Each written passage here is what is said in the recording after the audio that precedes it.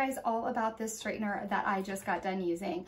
Um, and so one thing about it is it does come a very nice box. So that way, if you are gifting it to somebody, um, it just, it's really nice. It's a really strong, sturdy um, box here. So I like that. Um, but the other couple things that it comes with is it does come with the mat. Okay, so you guys can see there's a lock button right there and you're gonna be able to slide it in here. So I really like that fact.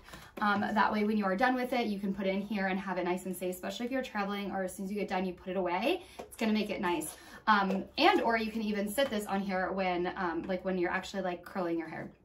Okay, um, the other thing it comes with is the glove. Um, and so that way you can make sure um, you are not burning your hands at all. And then it does come with two of the clips to be able to clip your hair up when you are doing it.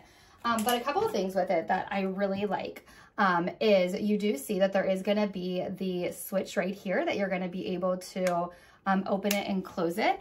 Um, but you guys, look at the plate. Do you see how it's curved, okay? Um, so I really like the fact of having that curved plate. It just helps it curl a bit more, but I want you guys to also see that it does straighten pieces, okay? So here's like my bang pieces. So look at this, you guys. You can still put it in there and run it all the way down.